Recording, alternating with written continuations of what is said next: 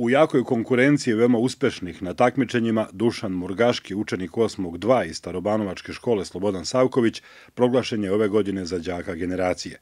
O postignutim uspesima kaže.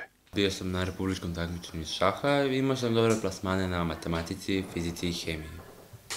Tokom školovanja šta si najviše voleo, a šta nisi voleo od predmeta? Pa najviše sam voleo matematiku i fiziku, to što meni leži, a nemački to nikako. Želja mu je da se bavi mašinstvom, kaže da ima dobre izglede da upiše srednju vazduhoplovnu školu u Beogradu, a smatra da za njegov uspeh zasluga ima i razredna starešina Nela Rodić. Ona je nekako doprinela tome da se ja zanimam za fiziku i hemiju, a zato što kada gledamo, fizika je nekako bauk deci, ne kapiraju kako to ide.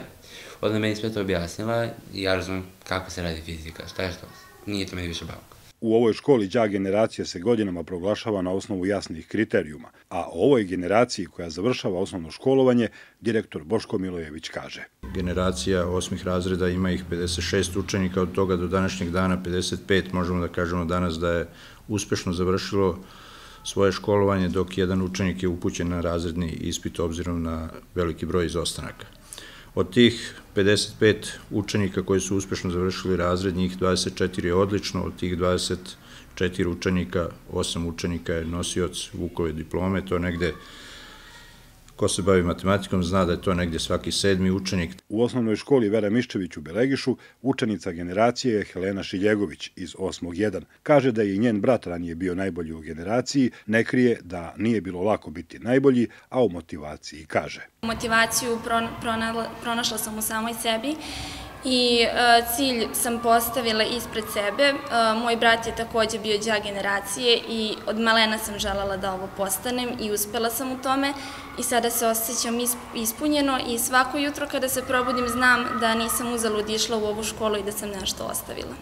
Tvrdi da beskrajno sedenje nad knjigom ne daje rezultate kao efikasno učenje, a od 1. septembra sešće u klupu prirodno-matematičkog smera gimnazije u Zemunu. Sebe vidi u prirodnim naukama i na studijama – a Mirjana Mirković, razredni starešina, ima samo reči hvale. To je dete koje predstavlja primer svim narednim generacijama kakav neko treba da bude. I po vaspitanju, i po ponašanju, i po znanju.